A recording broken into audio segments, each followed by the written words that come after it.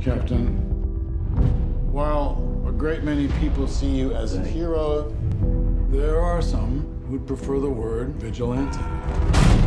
You've operated with unlimited power and no supervision.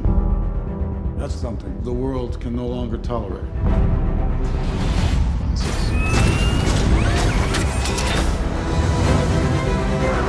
I just want to make sure we consider all our options. What do we do? We fight.